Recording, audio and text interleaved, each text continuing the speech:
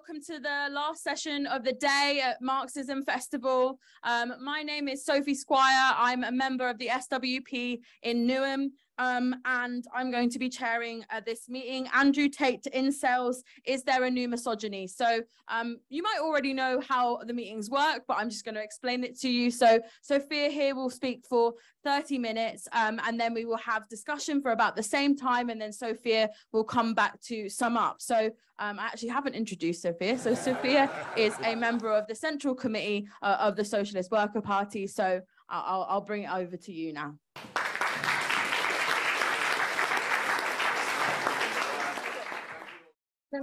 People hear me? Can you hear me? Awesome. Well, look, thanks everyone for coming along. Um, I know we've got some some some big names I'm competing with today uh, on the in the timetable. Uh, I hope everyone's enjoyed Marxism Festival so far. Look, I'm going to start this. Oh, there we go. It's the slide. We were having a problem with the slideshow already. Right. I'm going to start by assuming. I'm going to start, I'll start by assuming everyone knows who this wanker is in the room. Don't worry, 6 p.m. is like Marxism Watershed cut off, so we can say what we want in this meeting uh, within reason. Um, this is a photo of Andrew Tate uh, on his arrest, right? He was arrested. So I should say as well, a bit of a trigger warning for people in the room. I am going to be talking about uh, sexual assault and abuse and so on a little bit in this in this meeting, just in case anybody uh, wants to leave or feels uncomfortable with that. But um, Andrew Tate was arrested for rape, human trafficking, and forming an organised crime group to sexually exploit women last December. And just last week, he was officially charged, nicely in time for this meeting.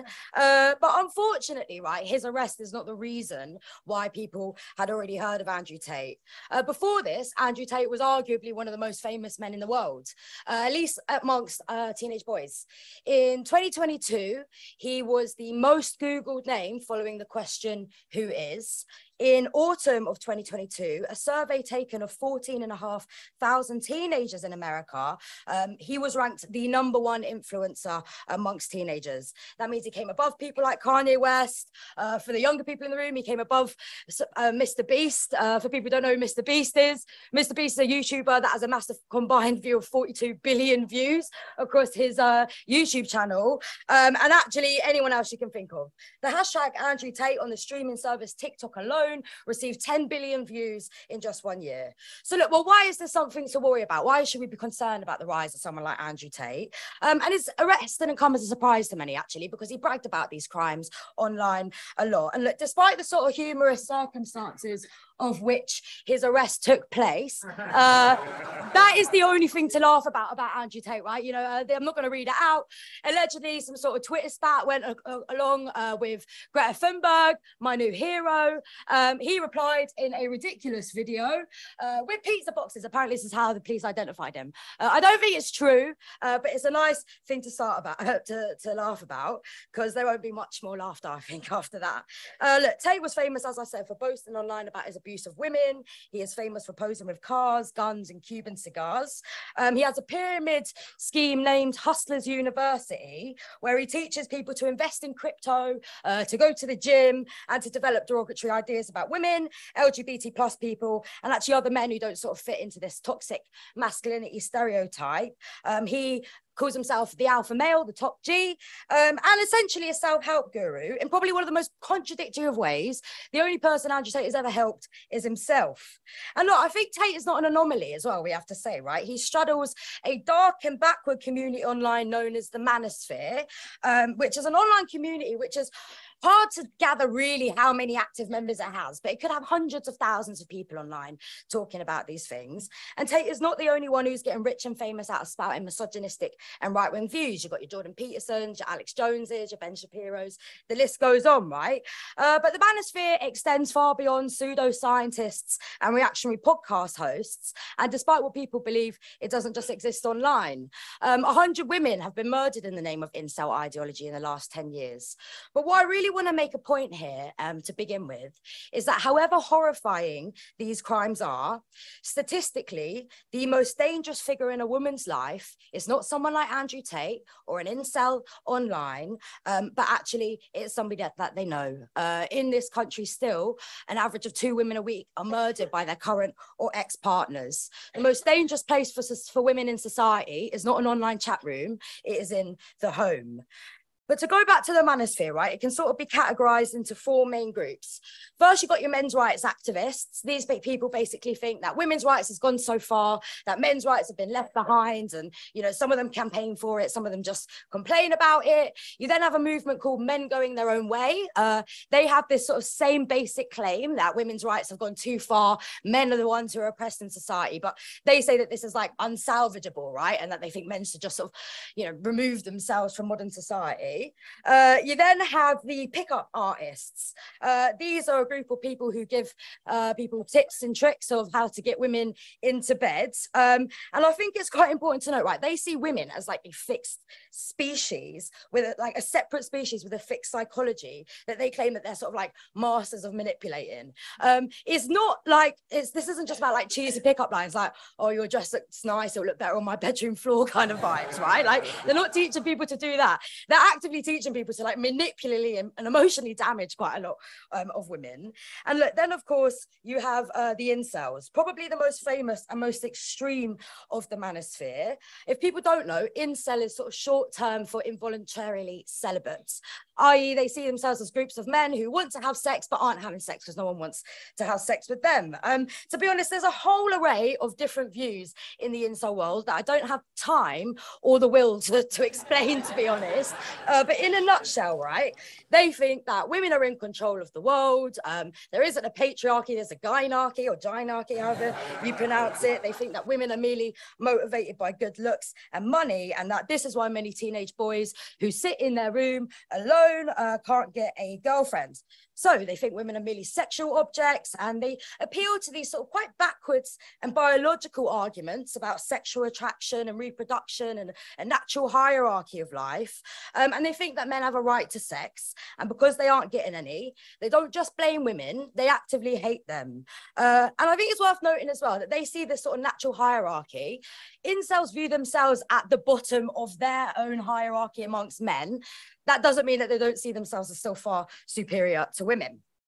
And it's also worth noting that whilst all of these groups can be seen as individual, they intersect entirely. They interact with one another online.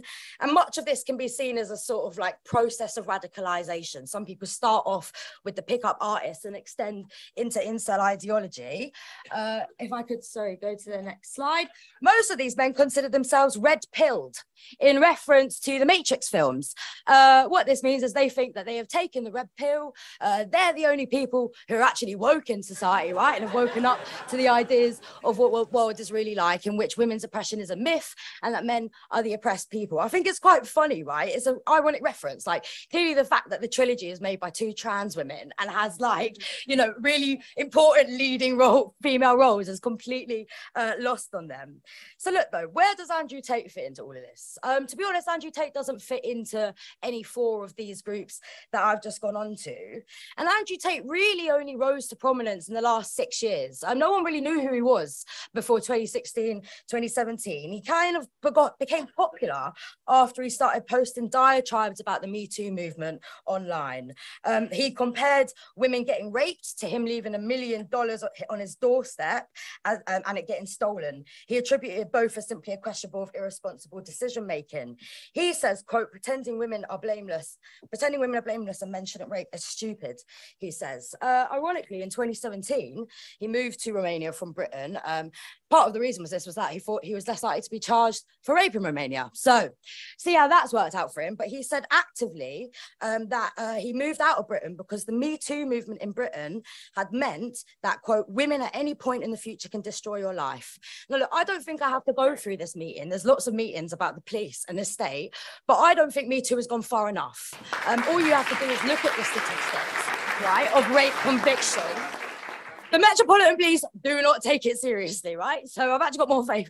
Anyway, no, I'm not going to say that question. um, anyway, so look, all in all, Tate in the manosphere, they claim that men have never had it so bad and women so good. Uh, if only, right? Uh, I don't think I need to convince people in this room that sexism is a very real thing in society. So then I think the question we have to answer is how is it that Andrew Tate's ideas can have such purchase? How is he so popular amongst young people?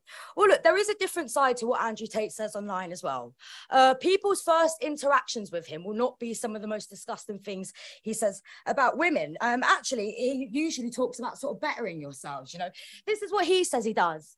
I seek to help men overcome poor mental health through embracing hard work, physical improvement, and shared masculine brotherhood. Uh, yeah, maybe it's not so bad. Maybe we were just taking him out of context, right? You know, he talks about things like having to work a bullshit job as a teenager for exploitative bosses, bullshit. You know, these things people are angry about, um, you know, in society. He talks about male expectations, about being the main breadwinner in the family, having financial success and control over your own life. You know, we know that capitalism means very little people actually do have control over their own lives. You know, he tries to find a way to explain the disillusionment that a lot of people feel in capitalism um, and actually and the anger that people feel when the expectations they have of what they should be in society don't match up to that you know Tate gives them someone to blame um, and look some people may say he's not that bad but then he also says things like this, so maybe he is. Look, uh, in many ways, right, men all across the world are suffering but they are not suffering at the hands of women. They are suffering at the hands of a rotten system. I mean, think about the mental health crisis that men face. Uh, suicide in this country is still the biggest killer of men under 50 12 men every single day in the uk commit suicides. Men are faced you know lots of challenges concerns about body image isolation loneliness. And you know all at the same time there is this constant pressure to be hypersexual hyper masculine you know teenage boys are told that everybody's out having sex and if you're not doing it there's something wrong with you. You know these contradictory ideas all the time are fed to young people about what they should expect expect from society and what their lives should be like. And when many of their lives don't match up to this sort of unattainable standard, people can feel angry, they can feel self hatred, and many blame women. Um, but look, it is not men that are in crisis. Rather, the system is, whether it be in the form of economic crisis, the cost of living, inflation, recession, whether it be climate change or war. And actually, when a system is unstable, like our one is today, it constantly has to find new ways to reinvent and justify itself. Um, and actually, this is something I think that Andrew Tate has tapped into. And to be honest, if it's anyone who's under attack in society, it is women. Think about the attack on abortion rights. Think about the violence that I spoke to. Think about the roots that are going on in Iran. And I think actually as well, this isn't just about an attack of individual male violence. When it, it is a systematic and a structural thing that women's oppression exists in society. You know, when it comes to economic recession and austerity, actually, it is women who have to pick up the pieces of these things. We are expected to look after family members when health, education, and care services are being cut. Um, and actually, then you begin to see that these gender roles that are forced to us all the time on capitalism, you know, they are key in shaping what we are expected to do in society. And I think that being said as well, whilst men may suffer at the hands of expectations and gender roles, they are not systematically oppressed by them. Um, that has something we have to be very clear. Women, on the other hand, are systematically oppressed under capitalism. That is because of the structures on which our system needs in order to survive. It is because of things like the institution of the family that I'll get onto a little bit back, a little bit later. But it is the role of women's oppression that helps to produce profits and keeps the system churning. So women are oppressed. Men may suffer at the hands of gender roles. It may be distorting for them, but does not oppress them. So look, to go back to the, I just want to see what the next slide is. Sorry. Okay, right. Uh, to go back to the question then of is there a new misogyny, right? Whilst the phenomenon and reach that someone like Tate has, or the visibility of groups like incels has can seem a bit frightening, there is actually nothing really unique or new about the ideas that he espouses about women. Um, we see them time and time again. There's certainly there's certainly nothing new about sexism or misogyny. Look, so I mentioned how Tate and incels could sort of be seen as a rise out of a backlash to the Me Too movement. But this happens time and time again. Um, every time women have made gains in society, or any oppressed group for that matter, there is a pushback against it. Look, there was a pushback against the sexual liberation movement of the 1960s. It's a tiny, tiny thing, but in the 1960s, women got the pill. It was socially acceptable to say that women could have orgasms and that we enjoyed having sex. What did the capitalists do? They thought, this is great. We'll use it to sell people more stuff, right? During the 80s and the 90s, you saw a backlash of the so-called career woman. Uh, whereby, you know, more and more women were entering the workforce. This meant that there were changing roles that men and women were expected to do in the home. And some people argued that this drove a crisis in masculinity. Um, you know, so these ideas that Andrew, Andrew Tate spouses, they're not new. They come up time and time again. You know, the advancement of the so-called career woman was seen as a threat to men's place in society, but also the home. So as you can see, look, as long as women will fight for rights that we still do not have, there will also always be vicious backlash against it. And look, quite frankly, right, um, there is also today an attack, like I said, on women's oppression. Um, and there is a re-emergence or a reinforcement from the state and the top about women's roles, particularly in the family. Uh, that's because actually, if you think about the nuclear family, uh, many people can't afford to live in one. Surprise, surprise. You know, if you think about the expectations that men are told that they're meant to have to be the male breadwinner, to have this financial success, this house and kids and so on, people, many people can't achieve this. Um, if this is something that we all want to achieve, right? This is what they want us to look like, right? You know, the harder we push for liberation, the more the bigots will try and push back to put us in what they think is our natural place. It's this, isn't it? That's that's women's natural place. To be nice, smiley, it's in the kitchen and in the home. So look, Tate's ideas are not new. He is a symptom of a sexist system that has the ideas that he has structured into it. So then, if it isn't Tate or incel forums that are the cause of these ideas about women, well, then what is? Sexism is absolutely everywhere in society, um, and that means there's lots of different explanations about where it comes from. Some of you might have just been in the meeting on Is Biology the Root of Women's Oppression? I don't have time to go into that, but I think just quickly, if anyone wasn't, there are quite a lot of people who say that sexism is an age old thing, that men are from Mars, women are from Venus, and you know these different ideas that people have are just sim- simply a result of biological differences between men and women. To be honest, that's a pretty uh, hopeless strategy, right? Because it means what well, what are we going to do about it? Can we never get rid of sexism? Sexism is that what people are saying? Um, but I think we have to try and reject this argument because actually it's had a bit of a rise over the last few years, not just in the form of transphobia, but actually this is what incels and Andrew Tate say, right? They talk about a natural biological hierarchy between men and women. They say that men's brains are bigger. They say that men are stronger, women are inferior. You know, the world would be nowhere without men, blah, blah, blah, like all of these things. That's what they say. So, of course, we have to reject these ideas. And actually, we have to have a material understanding about where these ideas in society come from. Um, we don't think that there is anything natural about sexism. People are not born with these ideas in their heads. Actually, they are taught from us from the top. Another way to prove this is that actually, for most of human society, sexism and women's oppression wasn't didn't exist. Um, for many years, most of human history, we've lived in societies that weren't based on class lines, that didn't have gender roles, and so on. And it was only with the rise of class society and private property that women's oppression came into play.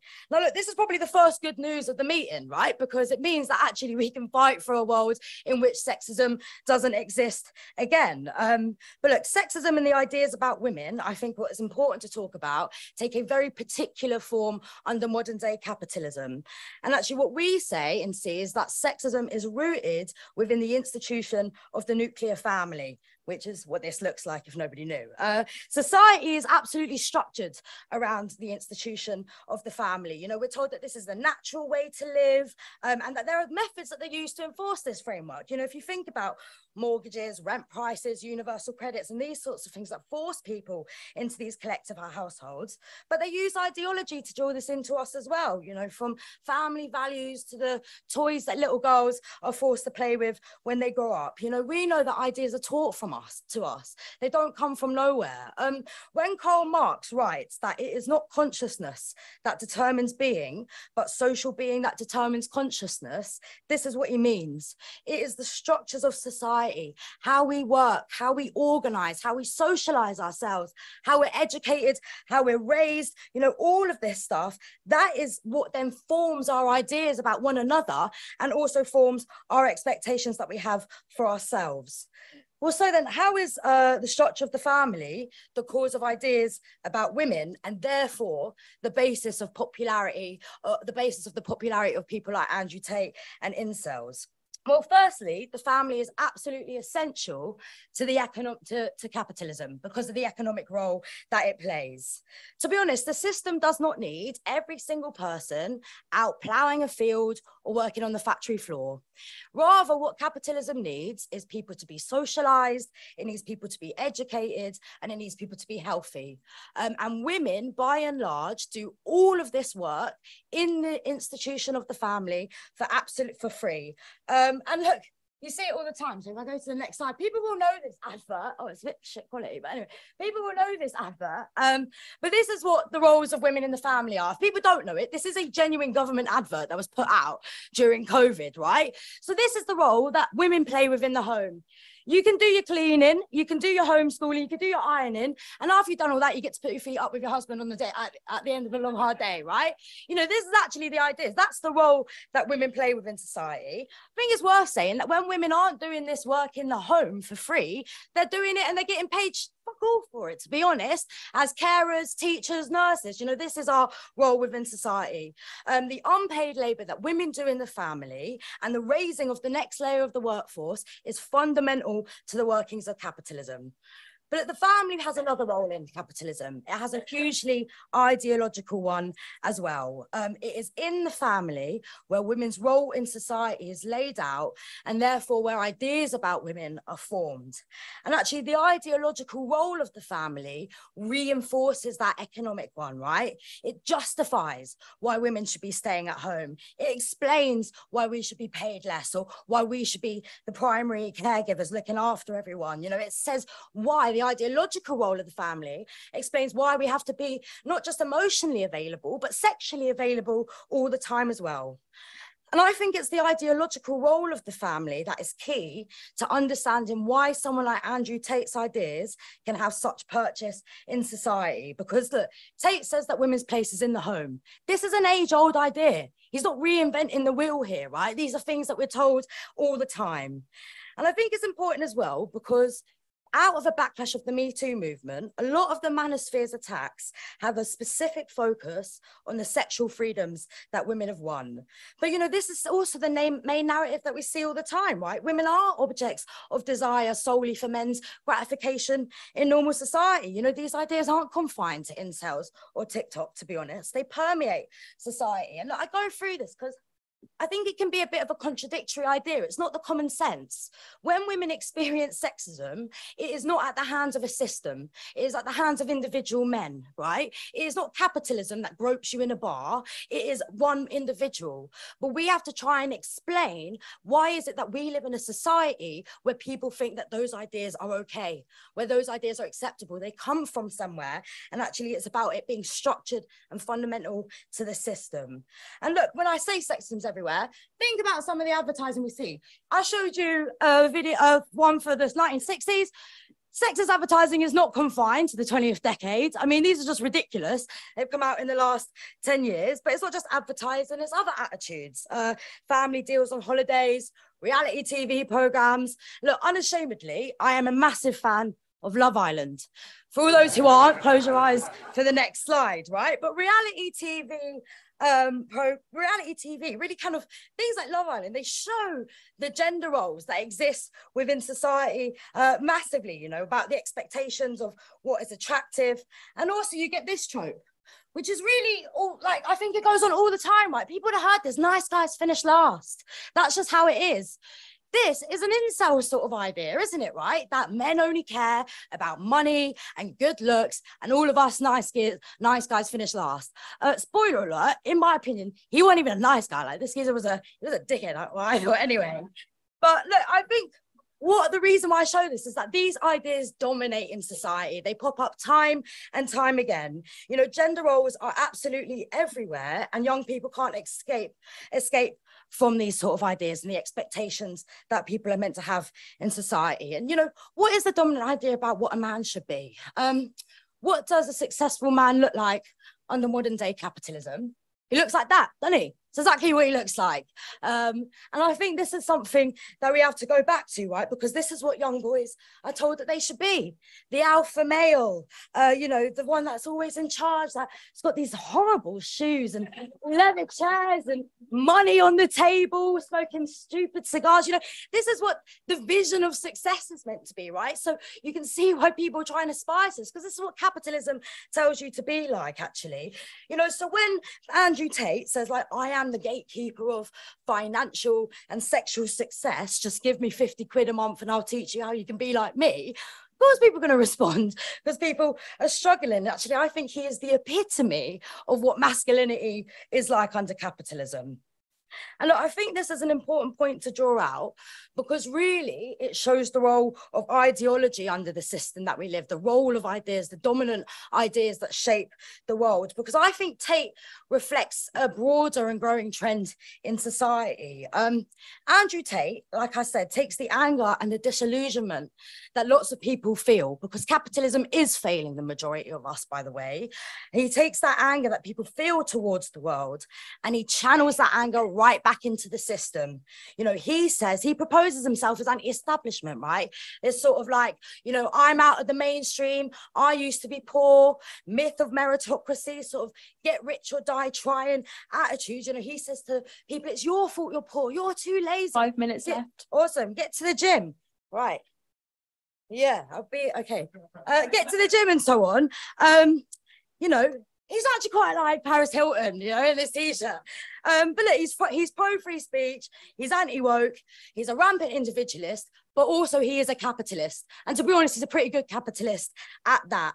And like I said, I think this is a broader trend in society. Um, it's quite a common theme you see amongst politicians like Donald Trump or Boris Johnson, right? They propose themselves as anti establishment or elite. We don't need to remind ourselves what they say about women too. But actually, when you see that when Marx says the ruling ideas of society are the ideas of the ruling class, this is what he means. And I think that's how the ideological role of the family can explain the material roots of where these ideas about women rise from. Because society is steeped in sexist ideas about women, how, what jobs we should do, what clothes we should wear, what, what clothes we should wear, and so on. And actually, all of these things are used as a justification of the systematic oppression of women. So, in my last five minutes or so, I am on my bit that says just to finish. The dominant ideology in society is not just backwards towards women, though. We have to say this it is racist, it is homophobic, it is transphobic, and actually, a lot of incels and Andrew Tate's ideas seep into this sort of society um, as well. And I think as the reason why we have to think why is it that the right and people like Andrew Tate are on the rise? Well, when people like Suella Braverman and Rishi Sunak say stop the boats, it gives the racists the confidence. When Rishi Sunak attacks trans women, it gives the trans folks the confidence. You know, it's them at the top that push this idea that allow that radical, the radical people to take it, take it off and run. And you know, Andrew Tate and incels, they're linked to the far right. This is with Mr. Tommy Robinson. Both of them are from Luton. So, you know, I think why is it that there is this shift? Is taking place in society? Why do the ruling class feel they need to reinforce the structures and institutions they rely on to stay in power? Well, over the last few years, I think we've seen a deep polarization of society. We've seen a collapse of centre ground politics. Um, we've seen, you know, neoliberal justifications. I'm sweating so much, but yeah, we see neoliberal neoliberal justifications for the system i don't think really holds much legitimacy anymore and the ruling class has to appeal to the right to find sca- scapegoats to direct the anger away from them it's much easier for us to all be pointing the finger at one another than up at the top but to finish, it's not as though these ideas cannot be challenged. They are not natural or fixed. As I said, it's not as though every little teenage boy has a mini Andrew Tate waiting to get out. People aren't born with these ideas, they are taught them. And to be honest, Tate has just jumped on a gravy train that's been going round and round in circles for decades. And I don't think then what we face at the moment is a new form of misogyny. Sexism is a tool of the ruling class and a fundamental feature to capitalism. It justifies women's role in the family that has insurmountable economic benefits to capitalism.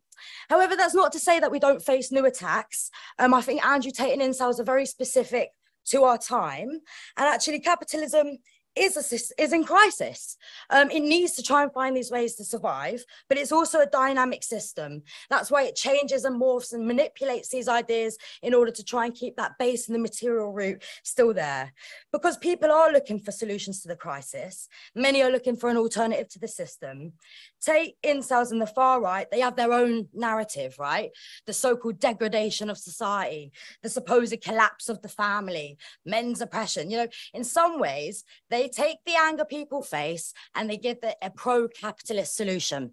That's what they do. They say the problem isn't the system. It's not the system that you're angry. It's somebody else. And actually, incel ideology has been explained as a no hope ideology, and it is one of no hope. It gives us no hope about the future. And in a weird way, Andrew Tate is an activist, isn't he? Um, where's my next slide? Nice. Anyway, well, we don't have them on the page when I talk about Andrew Tate still. In a weird way, Andrew Tate is an activist. He tries to explain people's anger. He offers them false advice, saying if you get to the gym or invest in crypto, you'll be rich and happy. He channels the anger back into the system to produce profits. And that means we have to be activists as well. If he's a pro capitalist act- activist, we have to be anti-capitalist ones. We have to be activists of a radically different kind. You know, Tate only rose to out of popularity, as people remember, because of something like the Me Too movement. For all the hate there is online, there is a community of people who rally against it. And not just online, but in the streets as well. Women are at the forefront of fighting back against the system that has exploitation, oppression, and all the other ills that capitalism produces built into it. They don't just fight back as women, they fight back as workers too. These are workers on the RCN picket lines. You know, we understand these are uh, NEU teachers and strikers. These are some Mongo's workers that we saw at the opening rally yesterday, right? You know, these, exactly, we understand that if we want to do away with the backwards ideas, that means fighting together as a class because oppression only exists to divide us. We, of course, we have to challenge sexist ideas. We have to challenge individuals like Andrew Tate, but fundamentally, we want to uproot the system, the mechanisms it uses like the family that actually create the oppression in the first place. It is capitalism that is the basis of sexism today in the form of the family and the ideas that women come and the ideas about women that come from it. We know that it's only through collective struggle and reorganizing society in such a way that our ideas can change, and we have to fight for that. I think to get to that world that doesn't have sexism and oppression at its heart, not only do we have to be activists against the toxic system, but we also have to be revolutionaries that fight for a better one. So, thanks, everyone.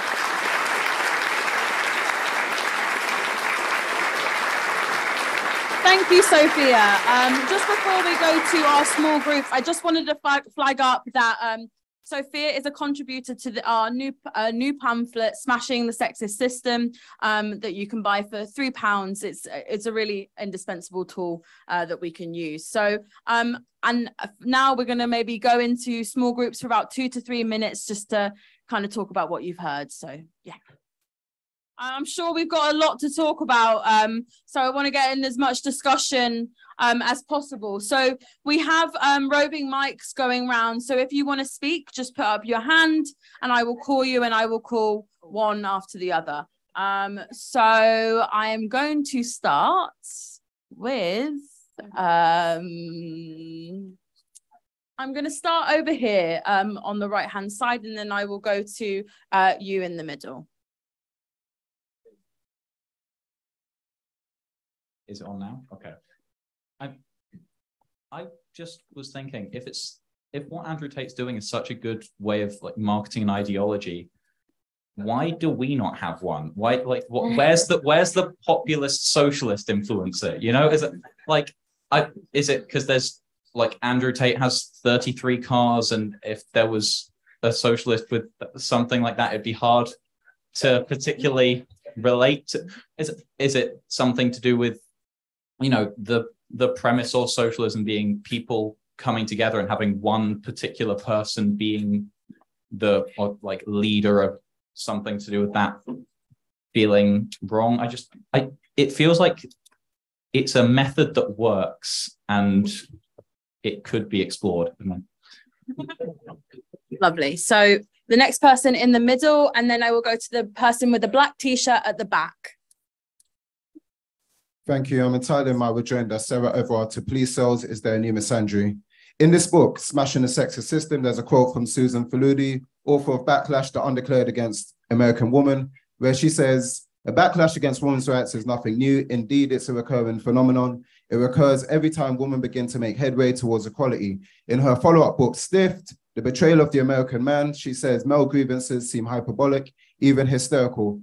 She could have been referring to the socialist writer Ernest Belfort Bax in his book, The Fraud of Feminism, published 1913, 110 years ago, where he wrote, any man who ventures to criticize the pretensions of feminism is actuated by motives of personal rancor, that is feelings of hate or anger against the female sex.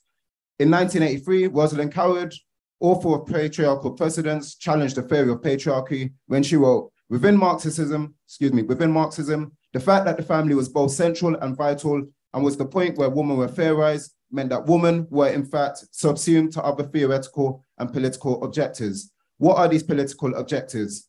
In heterophobia, sexual harassment, and the future of feminism, Daphne Patai said radical feminism is a pathological view of the relations between the sexes. She also said that sexism, a feminism that has latched onto sexual harassment as a mean of bringing men to heel is, I believe, a feminism that will ultimately discredit women. Now, other books in this tradition include Joanna Williams, Woman versus Feminism, Why We All Need Liberating from the Gender War. One minute Tommy left. Curry, The Man Not, Race, Class, Genre, and the Dilemmas of Black Manhood. Esther Vilar, The Manipulated Man. Herb Goldberg, The Hazards of Being Male. Surviving the Myth of Masculine Privilege. Warren Farrell, The Myth of Male Power, Why, male are, while Males Are the Disposable Sex. Mary Kassian, The Feminist Mistake. Christina Hoff Sommers, Who Stole Feminism, How Women Have Betrayed Women.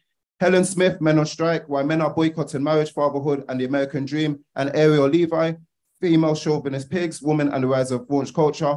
I would also say that whilst Andrew Tate is a convenient hate symbol, the actual true liberators of men are Mel Feit and Jack Kammer, who, for instance, wrote the book, If Men Have All the Power, How Comes Women Make All the Rules? So having prefaced that, my question is, why does the less concept of female liberation rest upon a premise of female hyper-vulnerability, which fabricates a notion of male pathology whilst erasing male vulnerability? Thank you. Um, I'm going to go to the black person with the black t-shirt um, at the back and then to the person with the blue um, jumper at the front. Person with the black yeah, I t-shirt. Yeah, I just wanted to respond to the question about why don't why don't we use sort of this method um, to raise class consciousness and all that kind of stuff. Um, so I have two sort of main points. One is that there are um, quite big sort of leftist co- content creators, if you want to call them that, um, such as Hasan, um, who is this kind of streamer who also turned out to be a misogynist um, dickhead and uh, um, and was spreading sort of like subversive misogynistic rhetoric um, through his streams where he was also talking about class consciousness, about labor power, and about um, sort of like socialist history. Um, and it all came down to this like debate bro like theory mindset um, where it was all about destroying like the arguments of the um, of the opposition. And if that happened to be right wing or it happened to be left wing it didn't matter as long as you were getting views and as long as you were like coming out as the most intellectual person in the room um, and I think the strength of so when like even if you don't have like that example, um, the strength of the sort of right wing tactic of having this like colder personality around one person or about one ideology, it is so identity based. Um, and that is something that Marxists often, you know, have to reject because it has to be like class based rather than um, young white men or um, young men who can't have sex. Um, so when you have like these these massive personalities who are going um, you are the victim. You look this you look this way you act this way you live in this way. Um, you are the victim and this is why and these are all your enemies. Um, you have a certain like the draw. Um, and I think Marxists have to avoid that even at our um, sort of recruitment detriment, because that's not actually the ideology that we're fighting for. And it takes a little bit more work to be saying, um, yes, absolutely, you are being oppressed um, in all of these sort of intersectional ways, but it is because of this root cause. And it takes a little bit more time to convince someone of that rather than saying, um, you're a young white man, look how good you had it 100 years ago, look how shit your life is now.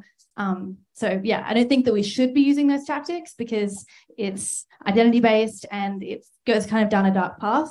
But also we do have people um, who try, and it's often a very diverse group rather than, than one. One minute um, left, sort of please, comrade. Oh, I have to breathe fast. um, so like on um, on like YouTube or whatever, there are like, you know, 50 people for every um, one horrible right winger. But you've got demonetization, you've got being blocked for saying um, two leftist things because of the corporate of corporatization of like content sharing apps and stuff like that will block you if you're being too radical. Um, and also right wingers on these sort of platforms have more access to capitalizing off of what they're saying. You know, they're selling, they're selling books, they're selling platforms, they're selling pyramid schemes, get help schemes, all that kind of stuff. Whereas the leftist um, content creators are more often, you know, lower um, lower middle class and not capitalizing on as such. So there are lots of nuances to why we don't and we shouldn't and we're failing at going at this sort of um, mythology. So thanks. Thank you. I'm going to go to the person with the blue jumper there, and then the, the person in the middle um, with the blue t-shirt, um, if that's all right. Yeah, thanks very much, Sophia. I think was absolutely smashing meeting.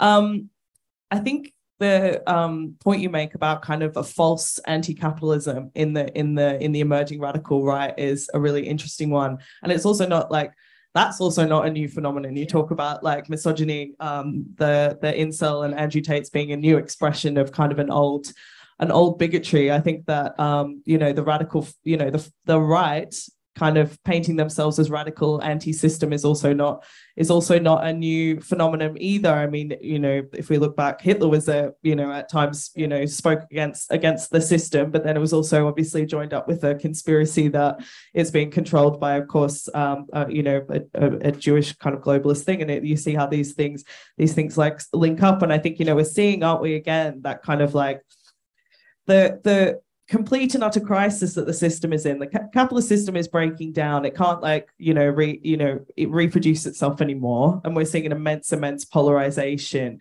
Um, you know, working class living standards are being seriously squeezed, and now in the last couple of years, it's not just working class living standards being squeezed. There's like a ca- catastrophe of working class living standards.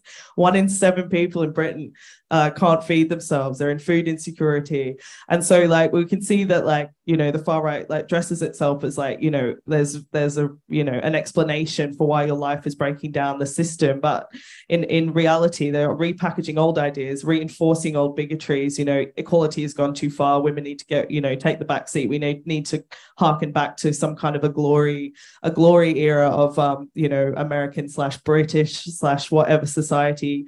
And it's used as an excuse to to attack and roll back all our gains. And you know we have to you know thinking about that um you know the scapegoats whatever they are they're you know refugees they're you know women they're trans people. The solution has to be you know building campaigns that fight fight sexism five, you know uh, minute left sorry not five Thanks minutes. so one minute. Um, uh, and uniting across the class, and that means uniting, you know, uniting with men to fight se- for fight sexism, uniting with working class men. But that doesn't mean you know we accept you know accept sexist ideas as a part of our project. You know we have to fight to to weed them out to argue um, uh, and to make sure that there's no there's no track with any of those ideas. But we have to try and unite as a class to take on to take on the system and be that pole of attraction for those for those alienated alienated young men to be the pole of attraction for the people who are who are suffering because of that. But you know our politics is politics of hope not of despair and, and blaming each other Thank you. I'm so I'm going to go to the middle, the person in the blue shirt. Then after that, I'm going to go to the person with the gingham shirt at, right at the back. It's quite a lot of information to take in, and I was hoping you could you could clarify something. So in the last um, talk I was at about women's oppression, and in this one, I've heard something along the lines of uh, the family unit was uh, is a social construct created for capitalism by capitalism, and I don't understand how this can be the case if there's if there's a part of the Old Testament referring to things that resemble the nuclear family, which is well over 2,000 years old. So I wanted to ask if there was some clarification on that. Mm-hmm. Thank you. Um, so yeah, we're going to go to the person with the gingham shirt right at the back, and then we're going to go to the person who um, has had their hand up diligently for so long with the water bottle. Hi. Um, yeah, no, obviously, thanks so much, Sophia, um, for the lead up. That was really great. I think one of the other things that's come out about Andrew Tate is I don't know if people are aware, but Andrew Tate declared himself as a Muslim last year. And yeah.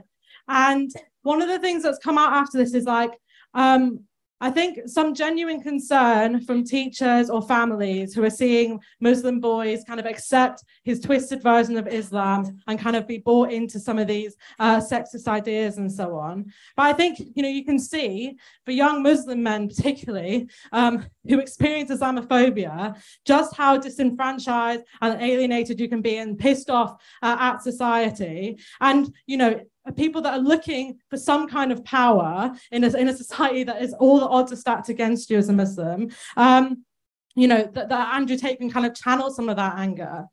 And I think, you know, Andrew Tate can tell, to, can tell Muslim uh, boys that their family, uh, uh, you know, is uh, is in poverty or, or, their parents don't have jobs or whatever, um, not because they're systematically discriminated against by the capitalist system, but because of uh, uh, of like uh, something to do with women and that that that they're the ones that's stealing the jobs or or feminists are the problem or blah blah blah. I don't even I can't even articulate his nonsense arguments.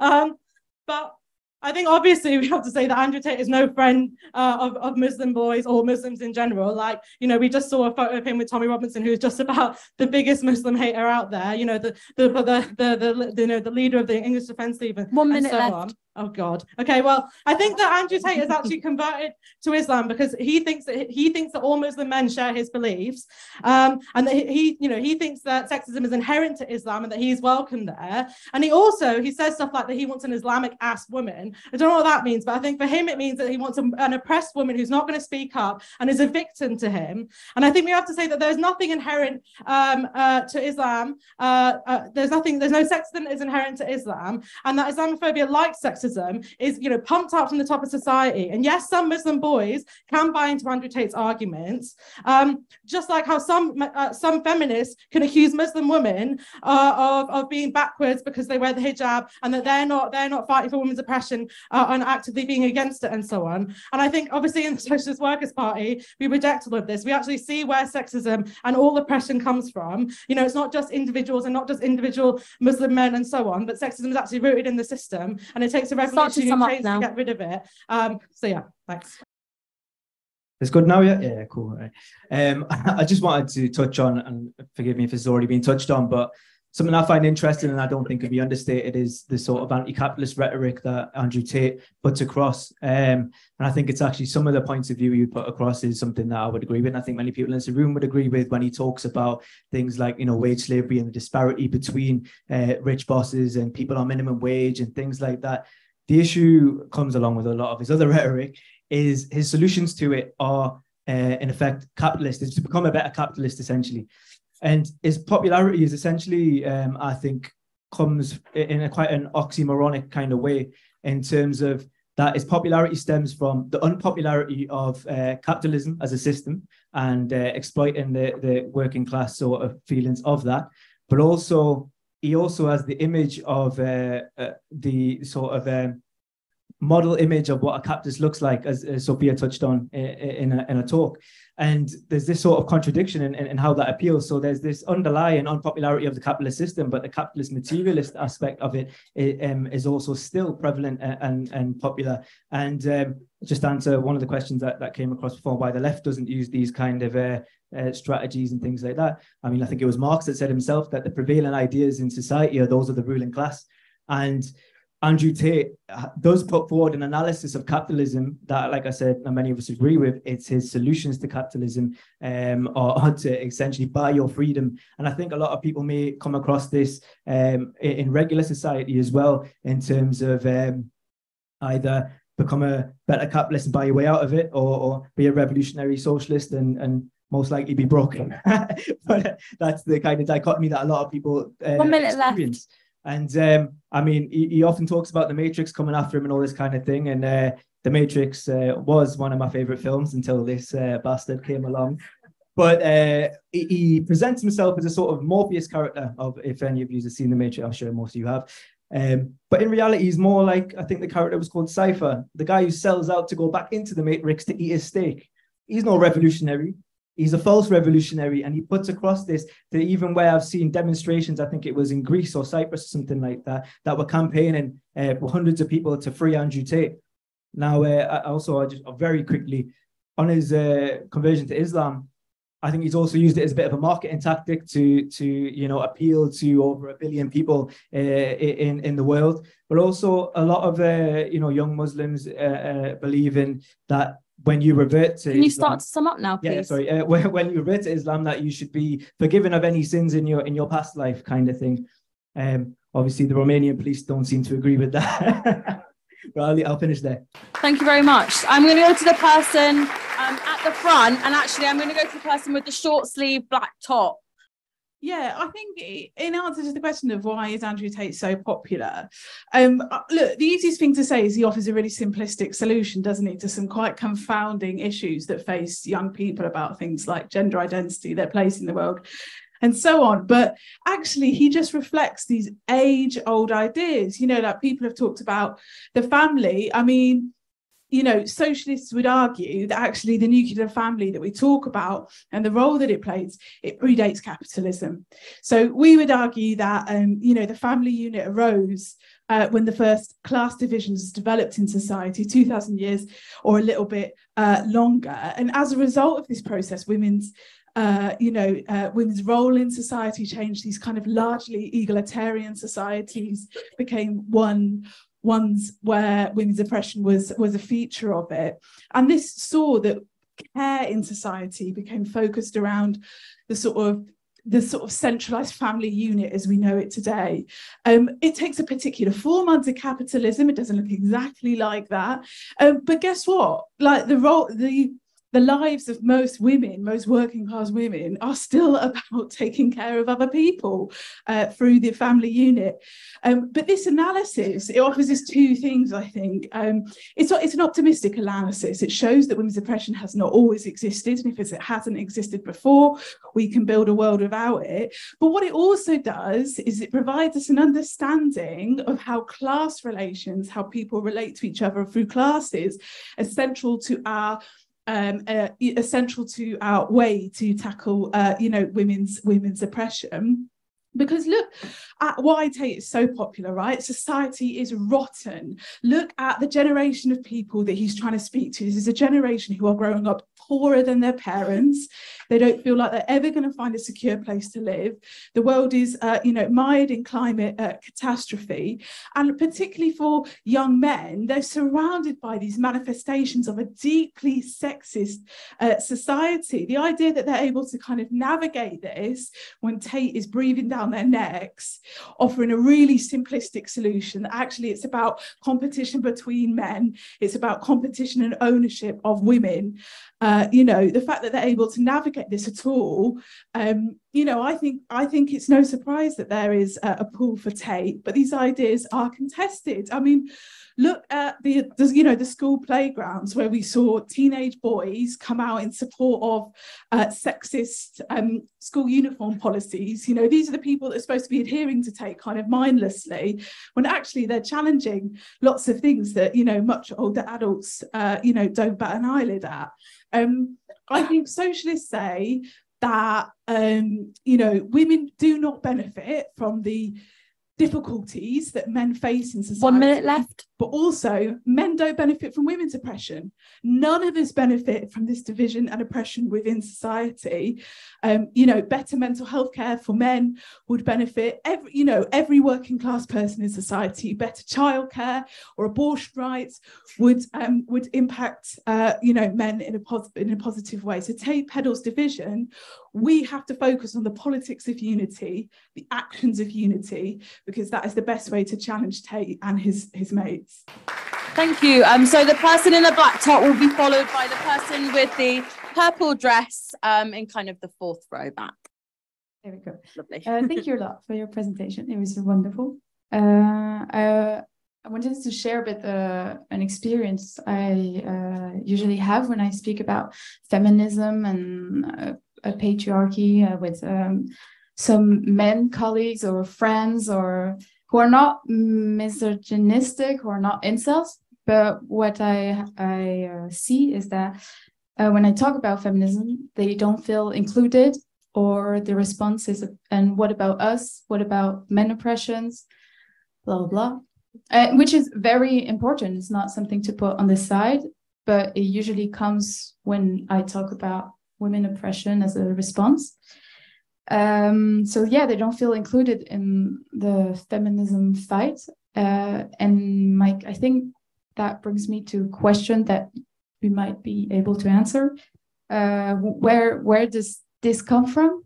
Uh, this clear separation that feminism, uh, in some people's mind, are for women, and how do we bring bring those men with us because we need them, uh, and also to let them know that patriarchy is not it's not something good for them too.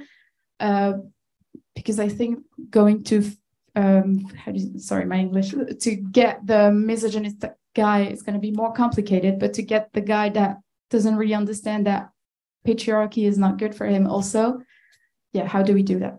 Thank you very much. Thank you very much. So the person with the purple dress will be followed by um, the person with the green shirt in the front uh, thanks for the great lead off. I think that in terms of understanding Andrew Tate, I think just as much as understanding the, a lot of the things that people have gone into about the question of sexism and the history of sexism and why it's so prevalent in society, is seeing Andrew Tate as one of an interconnected web of the far right and one of the many far right figures that exists.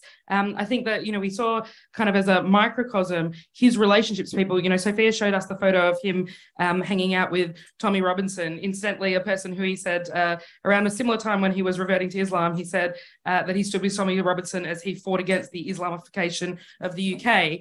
But he also has relationships with basically every other important far right figure that exists, from Alex Jones on InfoWars, from probably the only person who's ever been fired from InfoWars for being too racist, Paul Joseph Watson, um, who was fired and now works for Breitbart, who said Jews should be wiped off the face of the earth, along with you know various other extreme anti-Semitic, racist, sexist, homophobic, uh, pro-Hitler diatribes. Um, you know, he's just come out in support of Nigel Farage in the last couple of days to say, you know, him and Nigel, you know, really share a brotherhood. You know, they're the two people who have been uh, penalised and thrown out of and excluded from the UK. You see that uh, him as a as a his relationships as a microcosm of that. But I think you see the same thing playing out in terms of the way that young people are attracted to the far right. So Sophia went through the kind of different divisions of the men's rights activists on the interview uh, internet, the pickup artists versus the men's rights activists, the incels. But it's not the case that people just you know some young person might be interested in a pickup artist, a pickup artist on the internet, and then end up becoming incels. Actually actually, this is a whole pipeline which leads to uh, far more extreme, far right Nazi um, ideology, not just extreme sexism. So I think that part of the question for anti fascists and activists and socialists in the UK today and all around the world is not just the understanding of sexism that Sophia and other comrades have gone through, but is a question about how to fight against fascism and seeing all the interconnected. One minute left, please. Far right and fascist groups, whether it is the people uh, in places like Erskine campaigning against the rights of refugees to come into this country, uh, whether it's people uh, protesting against Drag Queen Story Hour, whether it is far right misogynists um, like Andrew Tate, who offer you know an easy in um, to the far right for a lot of young people, seeing that as interconnected, and as you know a number of comrades have said, is seeing the way that the you know not just how bad society is today, but also the extreme right wing ideology of the kind of mainstream neoliberal figures that run our society, how that provides such an open space for those right wing figures, and so I think that the, there's an argument as well that the fight against Andrew Tate is definitely a fight against sexism, which is a fight that socialists have always participated in, but it's also a broader fight because it's a fight against the system of capitalism, which is uh, both um, you know ameliorating people's lives, pushing people's living standards down, but also opening up um, you know this this massive space for the far right and for fascists to grow, and that's what Andrew Tate is part of, and that's what we're fighting against. Thank you. So after the person in the green shirt, I'm going to go to the person in the white top in about the fourth row. I mean, yeah. Um, yeah, so I'll try and make this brief. Thank you very much, Sophia. That was a great talk. Um, I wanted to re- respond a little bit to a comment or, or a point that was made earlier, um, where there seemed to be this idea that there are a lot of female writers, socialist writers that are very anti men. Um, and I think this is not necessarily a matter of who has it worse, men or women. We we know that we live in a system that oppresses people due in order to exploit them oppresses people in any way it can in order to exploit them. So therefore men will also be in some way or another exploited. They will be forced into a box. It's not a matter of who has it worse uh, I would argue women has it wor- have it worse because they are put into an even smaller box and they're oppressed in many different ways that men aren't in this case. I'm not saying that men benefit from it, but you will see that sexual assault is lower in male populations and it is higher in female populations. Sex work is higher amongst female populations. So women are exploited through and they're exploited and they're oppressed um, sexually, they're objectified in ways that men are not. Uh, Angela Davis has a great book about this, Women Race and Class, um, where you can see this, this, distinct, this distinction in the form of oppression. But the point is that capitalism as a system is not looking out for anyone's anyone's health or anyone's well-being it's trying to reach profit so trying to pretend that um oh as a socialist we really hate men we well we we're we're calling we're patholo- pathologizing um, men's thought processes is ridiculous. Misogyny is a pathology. It's a disease in the system, just like the system itself is diseased. It doesn't work. So Andrew Tate is simply sort of commercializing this and is, has managed to find an audience. It's not a new audience. His ideas, again, like Sophia said, are not new. Um, but he's managed to find a way in which he can sell this to a larger group of people and and and pretend that yeah he's anti-establishment, but instead he's just finding his market. And like someone around over there said, um, he's uh, finding uh, one minute yeah, now. He's finding a, an easy solution to a complicated problem, just like the Tory government is finding an easy solution for its system by blaming refugees, by blaming asylum seekers, by blaming Black people. It's not a surprise that it's happening. And I don't think saying that, oh, but men are oppressed too, is actually the way that we're going to solve this. Thank you. So um, after the person with the white t shirt, I'm going to go to the person with the lavender vest um, at the front.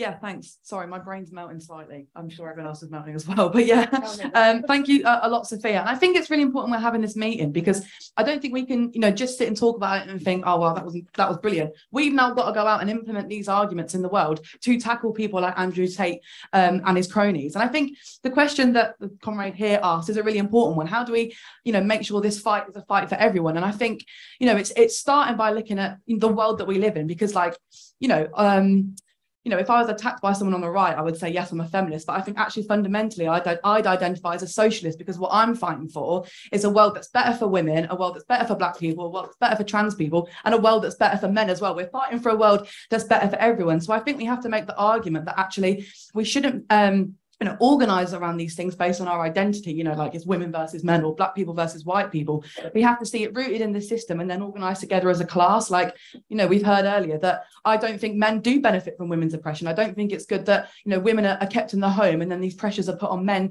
you know, to have two weeks worth of paternity pay. And then, you know, they, they can't spend any time with their children or, you know, when women die because they don't have access to abortion, it's working class men's, you know, sisters and wives and brothers and so on. So, or sisters. And yeah, you know, you get what I mean. You know, th- these are class class issues. Um, and I think we have to argue um, that you know we're stronger when we, we when we're united because of that. Um, because our oppression's rooted in the system. Sorry, my, like I said, my brain's melting a little bit. But we, we, have got to make the argument these, these issues aren't based on identity. They're based on the system that we live in. And therefore, it's a class solution. And therefore, it matters to everyone that we overthrow that system. Because, you know, when you when you look at the type of system that we live in, one where we're totally alienated, aren't we? Marx talks about how, you know, as, you know, as human beings, the thing that's making us human is our labor power. And under capitalism, we've got absolutely no control over our lives. We don't control, you know, um, what we do in work. We don't control you know what time we go to work we don't control the relationships that we have around um, us because of that lack of con- control in society. It's the bosses and the ruling classes one minute left. that are in uh, control of that. Yeah thank you. Um, so I think, you know, the reason that people like Andrew Tate managed to, you know, push through so much is because the world is shit, like we've heard. The world offers nothing for anyone. And what we're fighting for is a world where we do have control. It's not that men are the king of his castle and, you know, his wife is his, you know, sort of servant. We're actually fighting for a world where we have complete control over our lives and production in society. We have a say on how things are run. We have a say on what we want to do uh, with, with the resources we've got in society. Um, and finally, I think um, you know, we have to, uh, sorry, completely um, go up against those ideas uh, of gender roles in society. How many men have been told to man up or grow some balls? These are things that we have to be standing against. We know that, uh, you know, men's mental health is a question, um, but we're totally alienated from each other. We're, we're, taught to see each other in competition, men versus women. That's what oppression and Andrew Tate and people like that want. Um, You know, even Andrew Tate is forcing competition between men. How are you going to be a billionaire unless you're going to exploit other men? You know, so he's talking about competition constantly, and we have to, you know, question Can that. you sum up now, please, yeah, and we comrade? to say that We're uh, yeah together as a class. So Thank you. Um, so after the person with the purple top, I'm going to go to the person with the grey um t-shirt with their hand up. Yeah.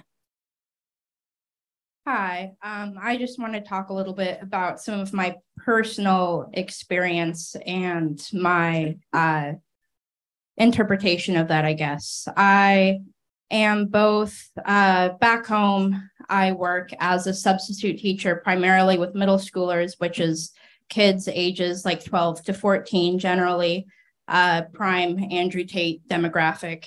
And uh, Additionally, my brother back home is 13 and prime Andrew Tate demographic.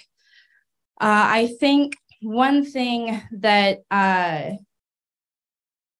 I guess bolsters these sort of uh, toxic ideas for young boys is a lot of them fall within sort of like hyper masculine stereotypes, like saying that Andrew Tate is hyper masculine isn't exactly uh, some big revelation, but uh, I think ideas that are associated with uh, leftism, like kindness and empathy, are seen as inherently feminine and therefore lesser, while ideas of like bolstering billionaires and success in capitalism is uh, linked quite a bit with masculinity. And so I think that uh, makes it harder to, uh, I guess, get uh, get leftist ideas in ma- in masculine spaces. That's all. Lovely, thank you. Um, after uh, so we're gonna have maybe time for two more speakers now. So after the person with the grey t-shirt, I'm gonna go to the front with the person with the red stripy t-shirt, and we'll see where we're at. We are after that. Cheers. Yeah, I wanted to come back on the person who questioned about the nuclear family because you know quite often in these meetings you're going to hear people say the nuclear family family isn't natural it hasn't always existed human beings have lived in different societies different or different relationships for a long time I realise this is a Marxism conference and not archaeology, so I will bore you to death in the bar afterwards if you want more details about it. but what I would say right now is um, that the nuclear family is shoved down our throats every single day on every telly program, every advert. Please do not put that image back on the screen again because it made me want to vomit. We're told constantly that this is how we're supposed to be. Um, there's there's constant ideological pressure about it, as if you know it, they have to keep reminding us to try and live in this way. Um, but there's actually loads and loads of evidence that in the past we have lived in very different relationships. The, the problem is though, archaeology and anthropology are both products of capitalism. They developed at the same time and they absorb and replicate the ideas of capitalism. So what we got is um, archaeologists discovering stuff about the past and anthropologists going and, and meeting other communities or other cultures, but they try to explain things in terms of how capitalism works. So they look at evidence of how people lived in the past and say, oh, well, um, this is a room in a house that's got cooking implements and things. It must have been where women did their work. This is a part of a building where animals were kept or pottery was made or something fiery burning and metally was done. That must have been where men were. And they take the ideas of capitalism and try and shove it onto the past. And I know what I'm on about because I am an archaeologist. Um, anthropologists similarly have done the same kind of thing. They replicate the, the ruling ideal, ruling, ruling ideas of the society we're in now and try and force it onto the past. And the Flintstones cartoon, if you've ever seen it, drives me crazy. It is so terrible. But it is taking that that those nuclear families and trying to make it make out that we've always lived this way. There is lots and lots of evidence that we haven't always lived this way. And uh, just one example, the hunter gatherers, right? The term itself drives me, it really upsets me because it's a very binary term and it makes it seem as if men did one thing and women did another. And there's no prizes for guessing that they always think that men do the hunting and women do the gathering.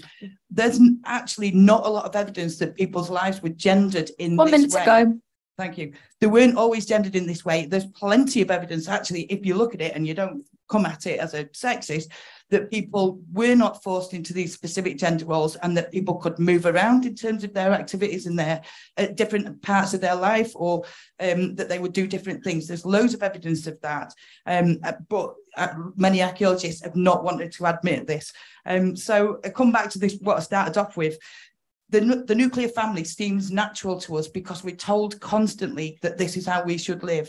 They wouldn't have to tell us constantly up now, that this is how we should live. If it was natural, we'd just do it.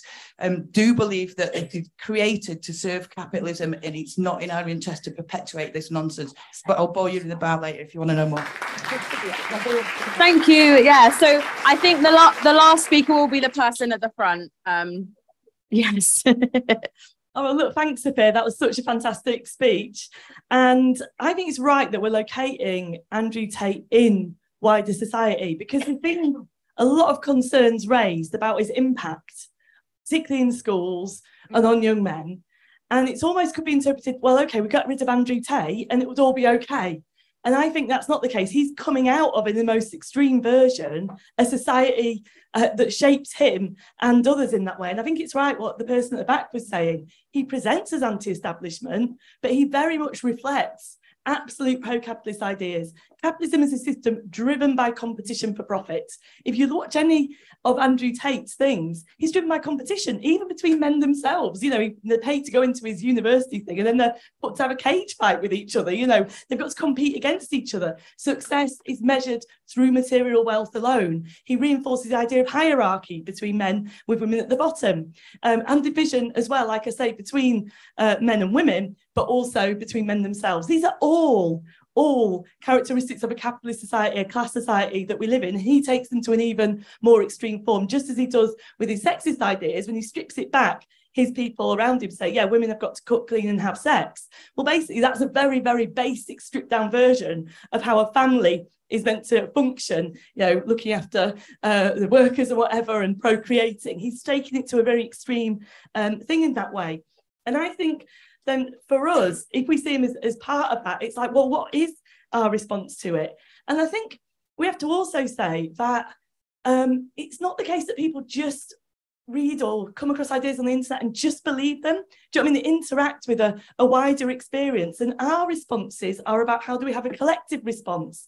And I just think when people talk about a lot of the worries of young people buying into them or whatever, I think about the big movements that have had young people at the heart of them coming together. Think about climate change kicked off by school students, the uh, climate strikes. Think about Black Lives Matter, a really young movement of bringing people together in a, a different way, a collective response, rather than sitting feeling isolated, looking at ideas that actually reinforce some of the worst parts of society. And I think that when we talk about our solutions, it is about how we do that. And I think we have to, because look, I hope Andrew Tate goes down for good. I hope we never have to see him again. But actually, if we don't get rid of a system that generates those ideas, there will be more Andrew Tates because there already is. They're the ideas in society that we're fed. We've got to put a different solution, and that's unity and collective struggle where men and women fight together for a class response against the real people who are enemies at the top. Thank you. Um, and I just want to apologize to everyone who didn't get called. It was a bit, obviously, I think a lot of people had a lot to say. So, um, yeah, I'm sure there's a lot more discussion we can be doing afterwards. So, talking about going to the bar afterwards. So, um, just one announcement. So, Soweto Kinch will be playing at the Mully's Bar right after this meeting. Um, he is an award-winning saxophonist and MC. So, so head to that after this meeting. So, um, I'll go now back to Sophia to sum up for about 10 minutes. Um, so yeah, thank you. Awesome. Well, thanks everyone for the for the discussion uh, and for sitting through what is an incredibly hot room. For the temperature of the room reflects my blood boiling when I was researching for this meeting. Look, I think I want to just come firstly to the question that was asked about the family. I think somebody's al- also already responded to it, but look, I, I think it's important that you know we ask these questions. I'll, I'll be, I'll, I'll definitely be at Molly's bar afterwards. So if people want to come and have a chat about anything I said, um, please do. I think firstly, the idea of family being a social construct. Um, that's not what, what we say. Um, sorry if it came across that way. The family is very much like a material thing that exists in society, right? It's not like magicked up, nor is it like all the capitalists and the bosses are like sat in a room secretly, sort of thinking, oh, right, like, okay, how are we going to get these women to have kids? Let's force them all into a family. You know, there are ideas that rise, arise from the material realities of it, but a social construct, I think, implies something that simply exists because of uh, because of ideas or because of societies. It's like an immaterial thing, right? It's like an idea, whereas the family is very material and the economic function that it plays is, is, is an incredibly real one in the driving force of capitalism. Uh, that being said, uh, as, as the previous person said, it was the family is not a product of, it, it's not, it wasn't invented by capitalism. Um, it far predates capitalism. As people said, the family really comes about with the first sort of settled agriculture um, when people start to farm the land, have private property, and actually when a surplus is produced. Um, once a surplus was started to be produced in society, the question of ownership came in. Who controls the surplus? Who works on the land to produce the surplus? With this, you see the rise of class society, but we say you also see the rise of women's oppression in the form of the family. Because for the first time in society, not only was there a need to have more children to work on the land to produce more of a surplus, but the question of monogamy comes into it because the men who own the surplus, they now got an interest, right? They want that ownership to go down and pass along their lineage. And that's where you see the family start to emerge in society. Um, this far, far predates capitalism, talking tens of thousands of years. But capitalism inherits the family, right? And actually, you can see time and time again why it needs it. If capitalism didn't need the family, it would have done away with it a long time ago. Uh, in the Industrial Revolution, you nearly saw the breakdown of the nuclear family under capitalism.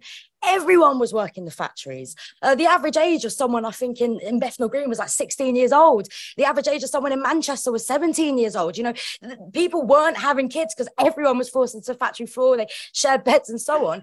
And actually, the kind of look far-sighted bosses and uh, capitalists, they were like, "Holy shit! Like, very soon we ain't gonna have anyone to work and make our profits for us." And they introduced things like the family wage, push women back into the home. They reinstill these ideas of family. So you can see that it's something that the ruling class had to save because it is essential to capitalism. But capitalism didn't create it; it learned it, but it is very much a part of that system. So hope, hopefully that that was uh, clear. And I think as well, then when you begin to understand the class elements of women's oppression, it can bring you back to the question about what do we say to our male friends who say, "What about us?" Because you can say this is about you. You know, this is about a system that divides people into classes. I think that's quite an important thing to be be honest, I don't talk about feminism much. Uh, people may or may not have guessed. I like to talk about socialism and Marxism, right? I think that's a better way of understanding. I think feminism can be a useful framework to start things and to have conversations, but I always try and draw that conversation to its most radical conclusion, right? It's that, you know, it is not men that oppress women. Men do not benefit from women's oppression. Working class men do not benefit from the fact that them and their partners have to work three jobs and they have to pay ridiculous amounts in childcare you know, men don't benefit from these things. There are some men that benefit from it, but there's some women that benefit from it too. Theresa May, she benefits, right? She benefits from a system that has class oppression, class exploitation and oppression at the heart of it. And I think that's quite an important thing because when you talk about socialism, it's not then cancelling off someone's rights you know? It's not like i only want to focus on women's rights and i don't care about the struggles that men face.